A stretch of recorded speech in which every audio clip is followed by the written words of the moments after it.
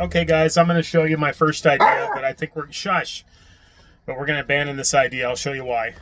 So we pulled up on this beach, and we tied to that sign, warning, electrical cable crossing, do not anchor. We're not anchoring. Move away, gravy.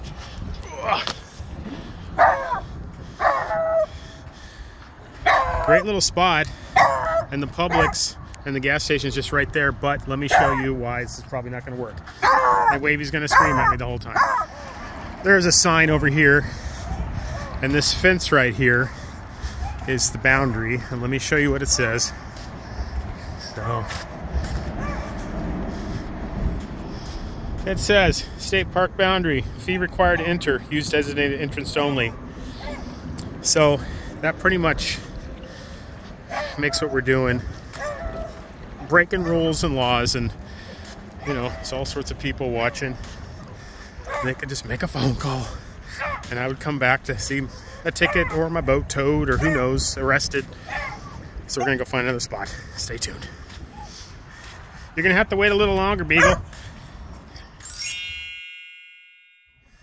Hey guys, well, I was, you just saw the last footage there. I was debating whether to stay here, and this nice guy, he works at the park, and he came down. He said, he not giving me any trouble at all. He just said, go on the other side of the boundary. He even said I could make a couple trips up there, but just so we're not hurried, I'm going to go ahead and, and just get on the other side over here. But um, you see me all the time freaking out about not wanting to make people mad, and, and I never think that, like, the folks that I might make mad are actually really cool. So this would be one example. So thank you, sir. All right, we're just gonna go on the other side of this fence right there. Okay, guys. So we just tied to the fence. Piece of cake. As long as we're on this side that sign, and we took permission from the general manager of the park.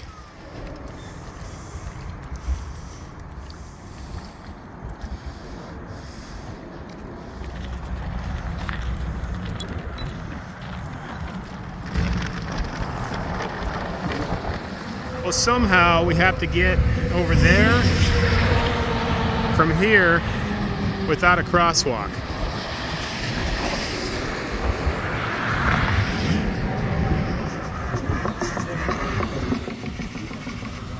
Okay, second trip to the gas station.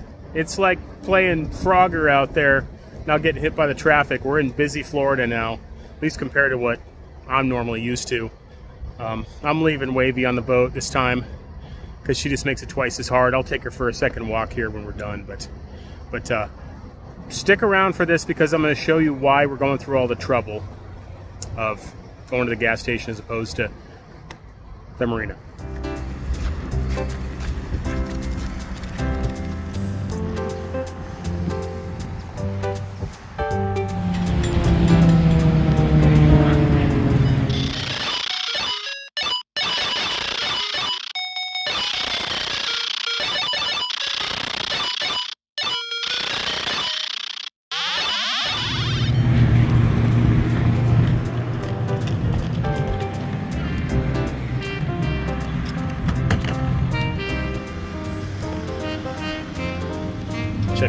Guys. Non-ethanol, unleaded, 87 in the blue. I didn't see that the first time or I would have done it, but we'll know from now on. It's uh, 3.79 a gallon, which is actually worth it. Okay, guys, remember when I told you that I'd show you why I'm going through all this trouble? It's because I probably saved about 20 to 25 dollars by hoofing it instead of going to the marina. So now we're going to go back to Publix which is just right over here and I'm going to spend 20 to 25 dollars on some food. So I always need the exercise. Wavey always needs a walk. We always need food. We always need gas and we don't have a job. So all those things mean this is why I do the things I do. If you have more money than I do which most of you do. I'm not telling you to do it my way, but if you kind of do things similarly to what you see on my channel, little things like this add up. Um, a penny saved is a penny earned. It's one of the widest, wisest adages I think ever mumbled by anybody. So, uh, okay. Anyways, that's my little speech for the trip. for the day, for the episode, what have you. Let's go to Publix.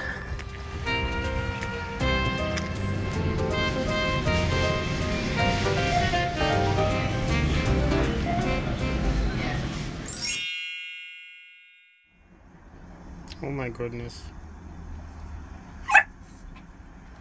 Okay, bye to our little spot. That was very helpful. Backing out, and we're gonna continue on. Stay tuned, guys. We're going into a really beautiful area. I'll show you on the map here. On the other side of those dunes right there is the open ocean.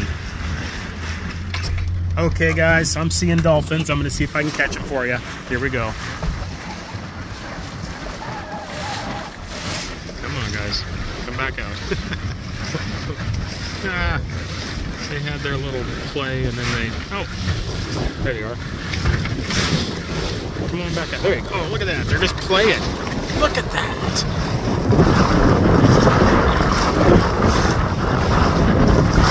Okay, guys, going to show you. We're right there. And there's no combustion engines, according to this map, allowed in there. Plus, it starts to get really shallow, too. So, we're just parked out here. So, right on the other side of that berm right there is the open ocean.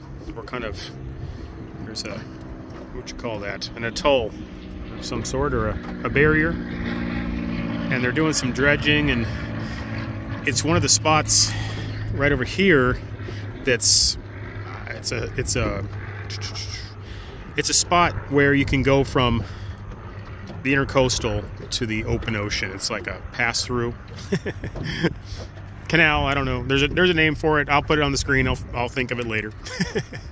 but yeah, very pretty place. We're kind of out of the wind enough. We're gonna kind of bounce a little bit, but that's okay. And ever since I put that chain on that anchor. It is hooking up so much better.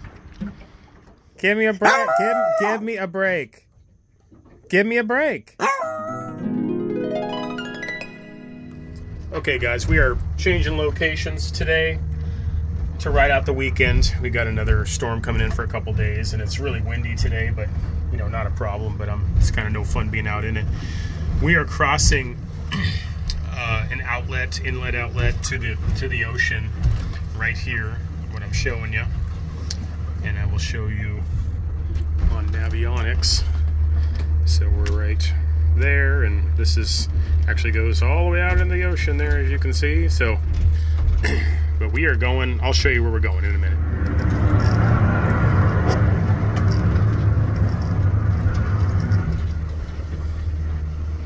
Show you guys how some of these dredging operations are like floating cities.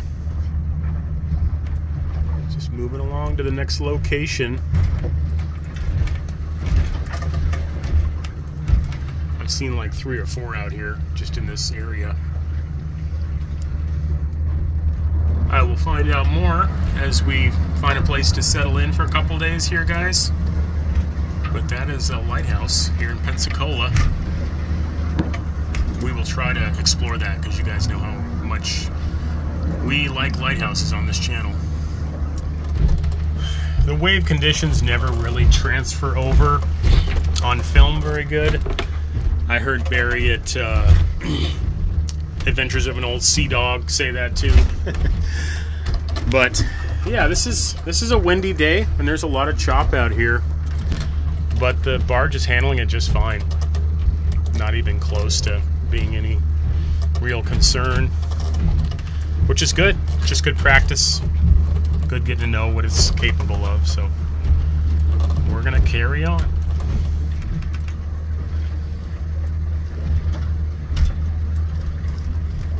Well, we are getting some practice, guys. I'm trying to show you. I don't want to go out on the deck because I'm kind of tied to the wheel right now, but We've got some rollers. It's a really, really messy seas here. And we're going into it, into the wind and into the rollers, but the uh, the barge is handling it just fine.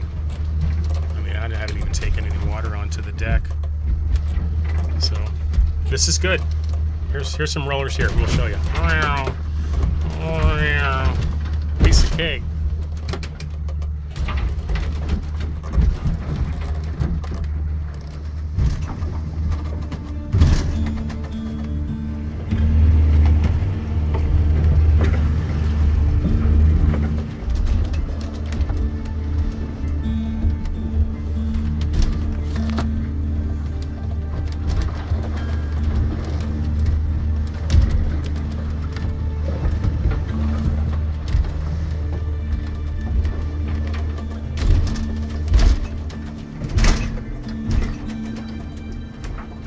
Okay, guys, so we got behind somewhat of a wind shadow. We just got little, little sloppy breakers out there, and they're not. I don't even know if they're breakers, but they're they're closer together, but they're smaller, and the the bar just kind of skips over the top of them for the most part. Throws up some spray once in a while.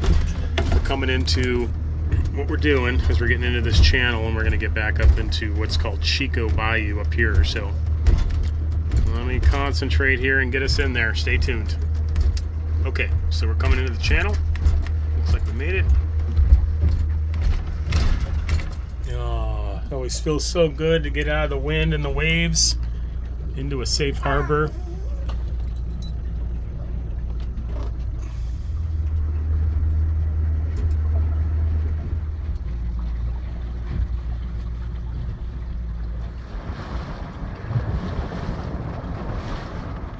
Okay guys, we're just going deep in here and looking around. I kind of eyed a couple potential places to stop, but I want to look at the whole thing here first.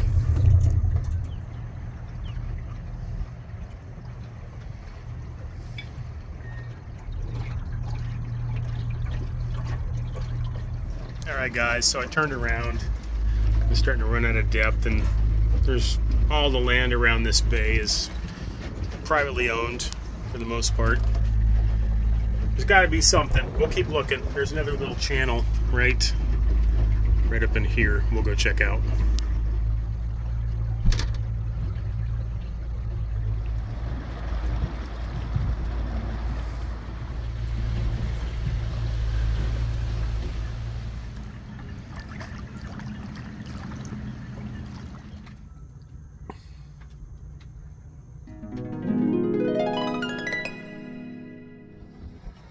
Morning, guys and gals. So, we woke up this morning. We're here in Pensacola still. We've been here for three days. I guess this is the third day. Not really where we want to be hanging out. It's just too crowded. Every square inch is claimed. You can't even really pull up to a dock without someone just running down and seeing what you're doing. And I, I get it. It's their business. But it makes it hard to even take your dog to go pee, you know? And so in the... It's cold. It's still cold. It's probably the coldest day so far. Like, I, I didn't think it would get any colder, but it did. So we're going out to the bay and see if we can jump back on the ICW. I think the the wind is coming from the east, so if we're just beating into the wind again today, I'm going to turn around and come back. But we're going to go check it out first. So let's see what happens. Stay tuned.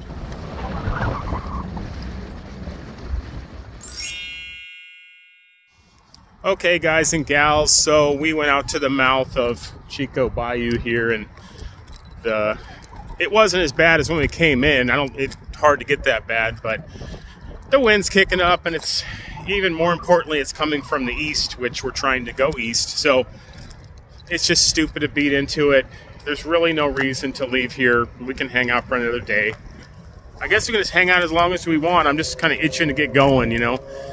Uh, so what we did, turned back around and parked at the dock at the Ore House, not the the Ore O A R house. and they're not open yet. But I asked a guy that worked there, "Can I park until you guys open?" And he said, "Yeah, no problem." So uh, it's only eight in the morning. They don't open till like eleven or noon or something like that. So we're walking around and see if I can find something to show you guys. So let's see what we find. We're just moving to stay warm because it's probably only I don't know 35 degrees, and we're in Florida. So, anyways, stay tuned. Well, you're gonna get some walking today.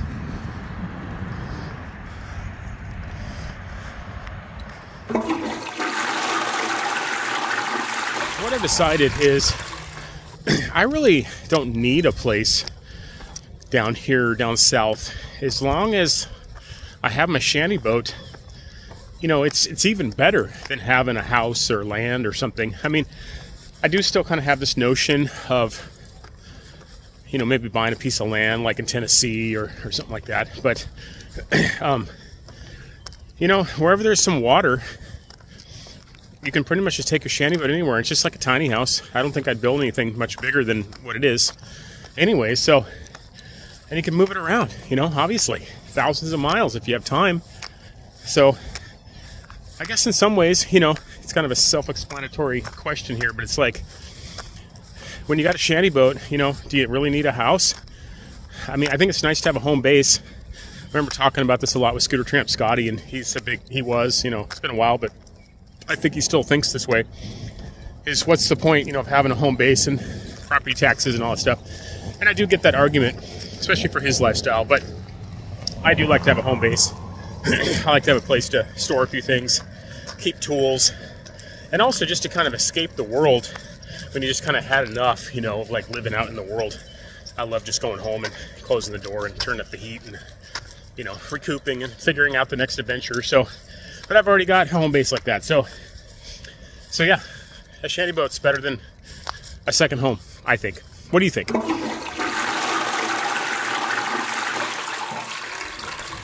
Look at this cool little house. And it's right, just right in a normal neighborhood with all sorts of normal houses. And then all of a sudden, bam. Probably get a pretty good deal on this place.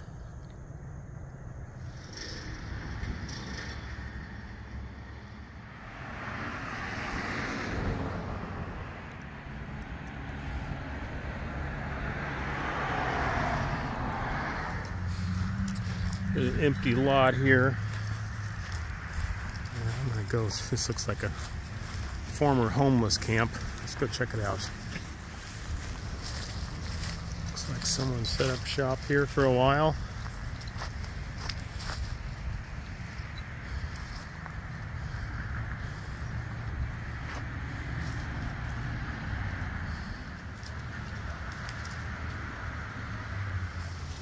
There's another spot right up in here.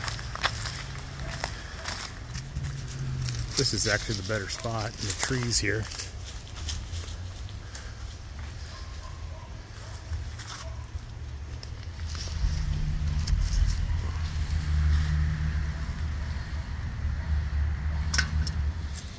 Just trying to figure this out here.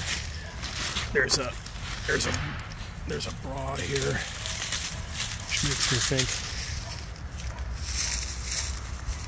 it was a woman. They get, you know, given a lot of free stuff and then they just have no place to make a home, so they just leave it. It's a dress there. There's a bunch of these these compressed gas duster and I'll bet you if we look this up this is one of those things that addicts huff the you know gas huffers is my guess.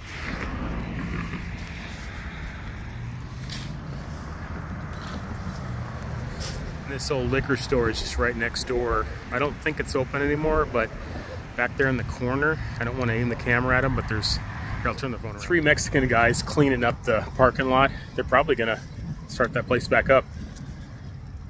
Uh, it's one thing I notice almost everywhere I go. Mexicans are always working, working hard. They're just they're, just good workers. They're hard workers.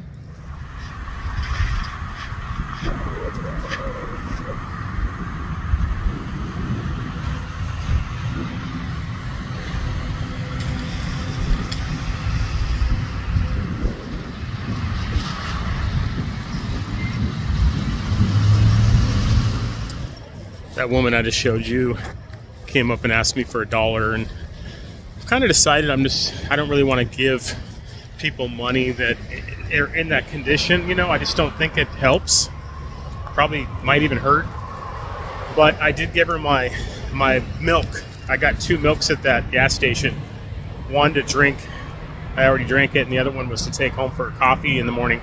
I can stop and get more. Um, and I said, "You will drink it, right?" And she's like, "Oh yeah, I'll absolutely drink. It. I haven't had anything to eat today." So, so I gave her my milk, and I figured that can't hurt, right? There's all these, all these houses that are falling down or in various states of repair or lack of in this neighborhood, which is really surprising to me. I would have, you know, I don't know anything about Pensacola, but I imagine there's just urban blight everywhere, and you'd think, you know, like this house right here would be valuable enough for someone to buy and fix up, and it's this is one of many.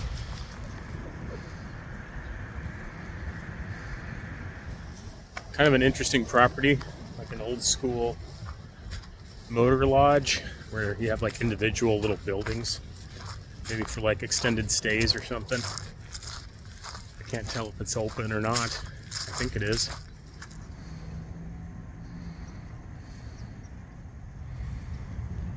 I think what happens is people just can't pay their rent.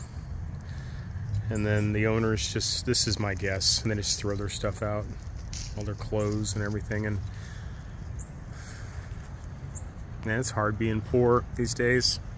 So, I'll see if I can articulate this sometimes I feel like I'm living a really uh, hedonistic, decadent life, even though I, you know, live simpler than most people. But you know, I, like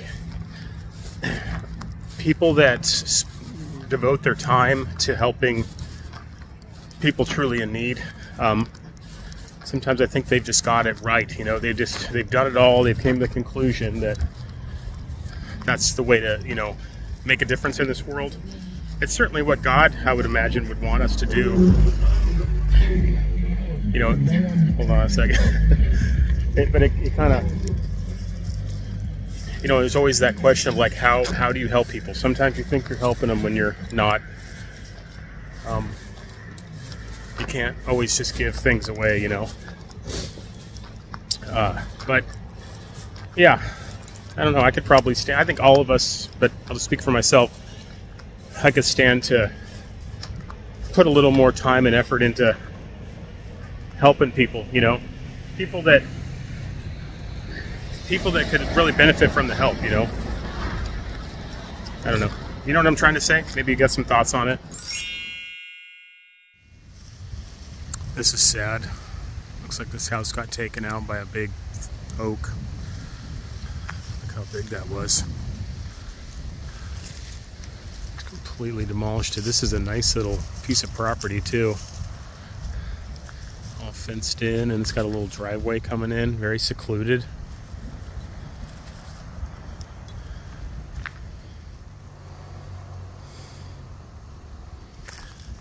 Okay guys, while we were exploring this this house that had a tree fall on it, I saw this nice car back here. It just looked too nice.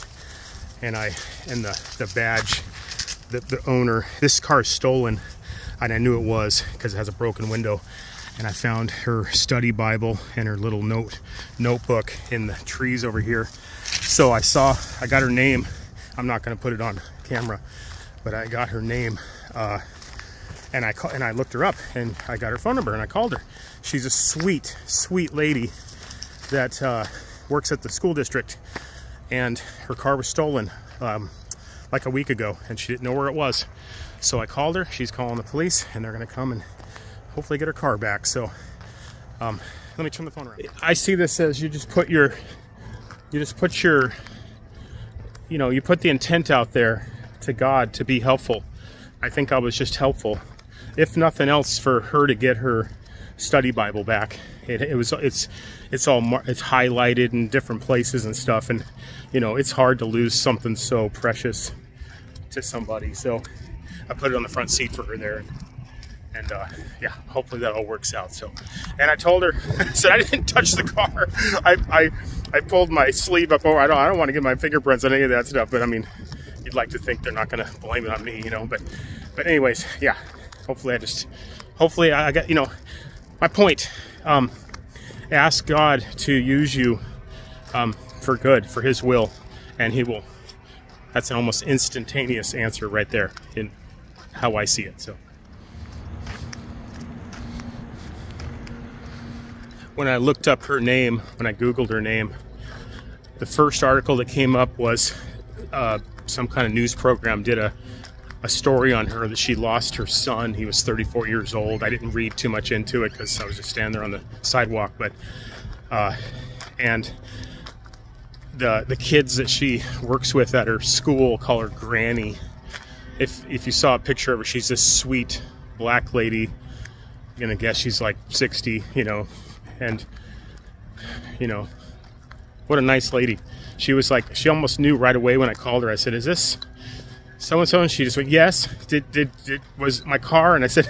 Did your was your car stolen? She said yes. I said, "Well, I'm looking at it right now," and I gave them the cross streets. And uh, so, oh man, the life in the big city, man, it sucks. So glad. I mean, it's not perfect, but I'm so glad I live out in the woods. I'm so glad I live in a small town until it catches up with us there. So, let's go, Beagle. Come on. Go. All right, we're heading back to the boat. Hopefully, there'll be the oar house will be open and we can. I don't know. Maybe we'll have a hamburger. I don't think I've. I don't think I've eaten out in like a month, so they let us park in front of their place. So if they got hamburgers, let's get one.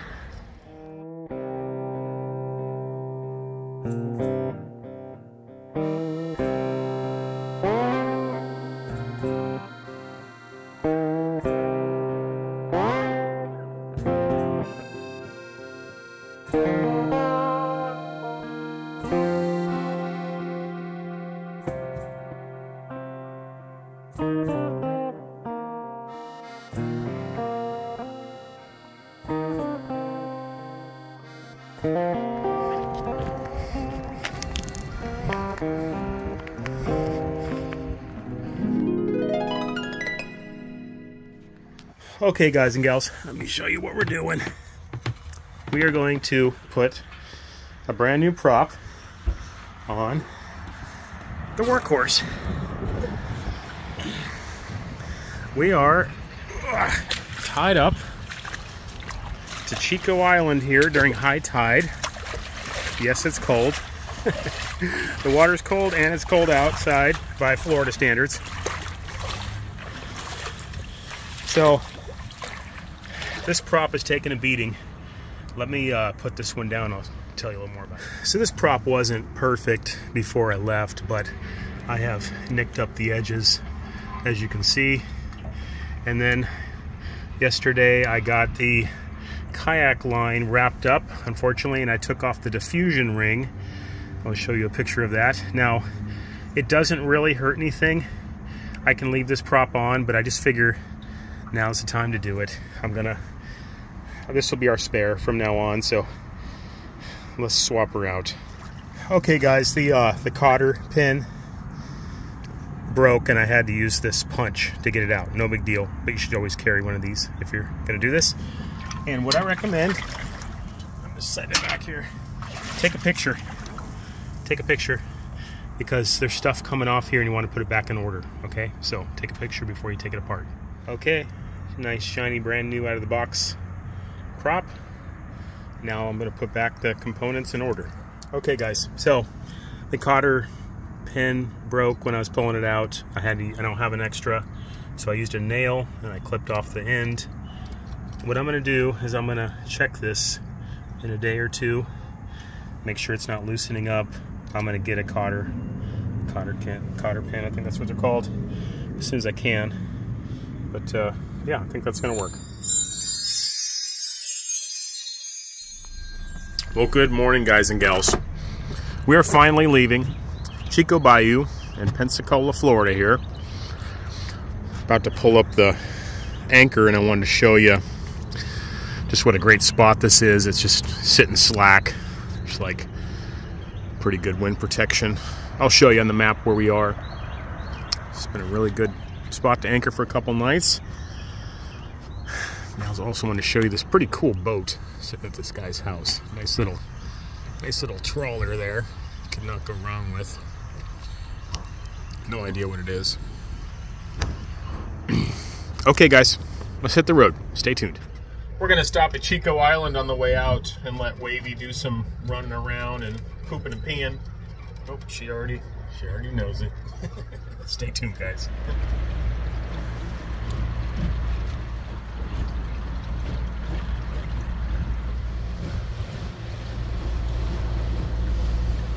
We got some got some dolphin action up here. Let me see if they'll breach again. And I saw they're chasing fish. I saw a bunch of fish jump.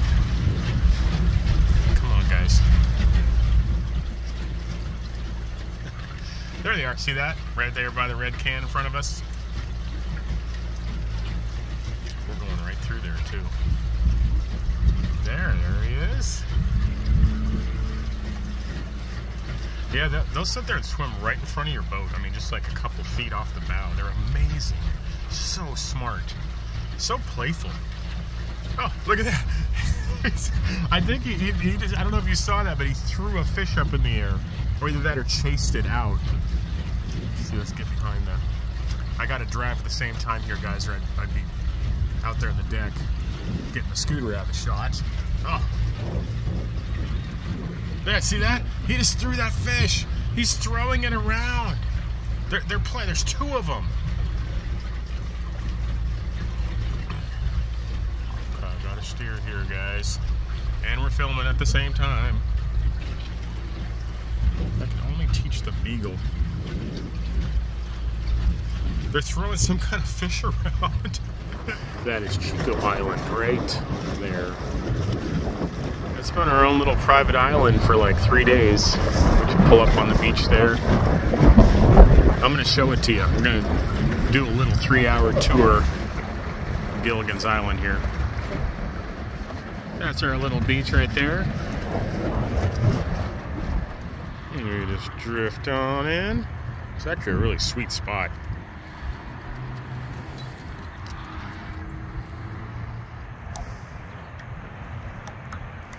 Okay guys, we're gonna do a little tour of this Chico Island.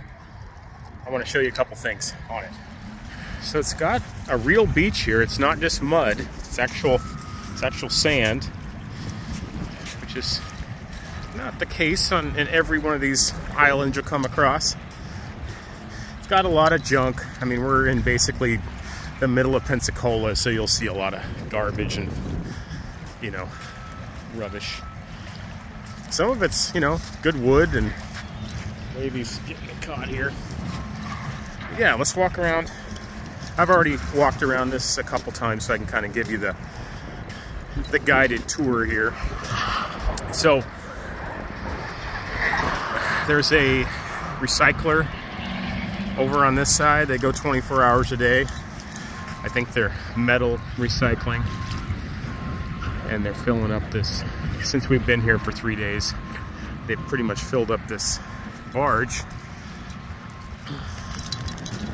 Come around the back side here.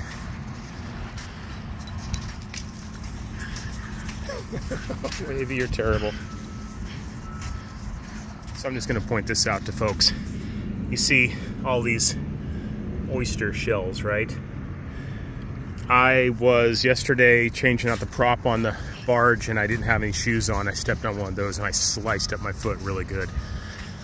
Uh, so yeah, always wear some kind of, you know, shoes, something, you know, even like they're just old tennis shoes or something. Wear some shoes when you're in the water here.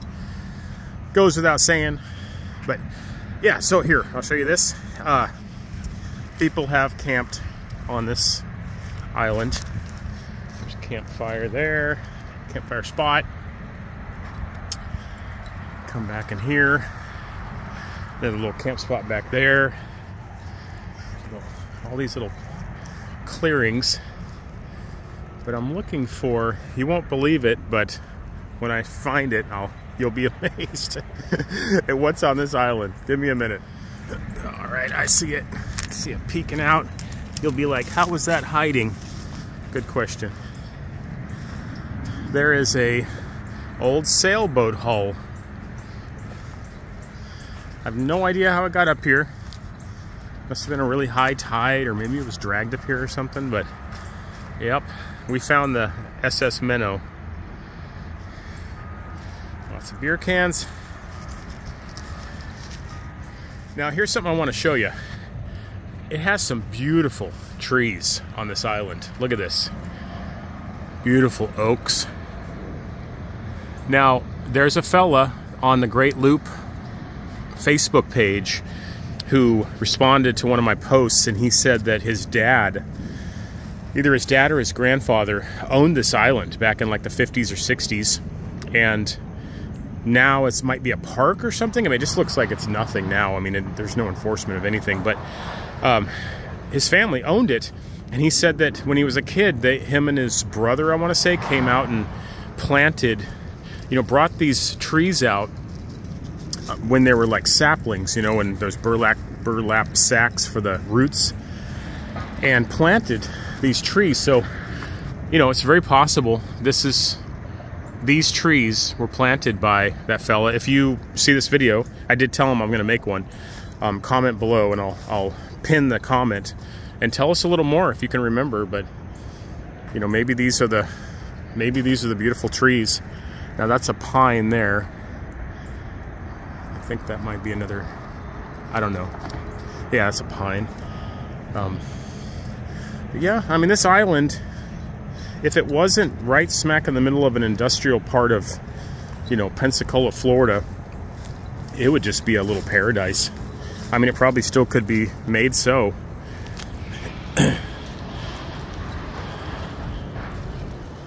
Got these little trails.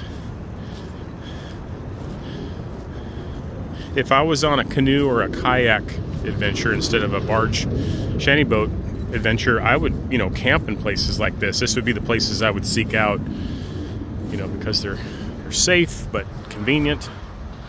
Yeah, you can see there's big trees, big trees on this island. This is a natural island, you know. This is not uh, not man-made or dredged, you know. They call it spoilings from when they're dredging.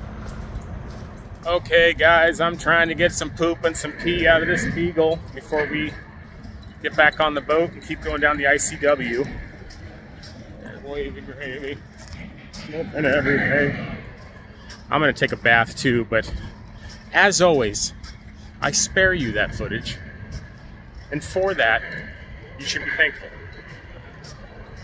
I never show you my baths, which I take almost every day. Salt water, fresh water, doesn't matter. I prefer fresh water though. I, I'm looking forward to getting to Crystal River because that's a natural bathing paradise with all those springs and you'll see. okay guys, that's uh, Chico Island in Pensacola, uh, Chico Bayou.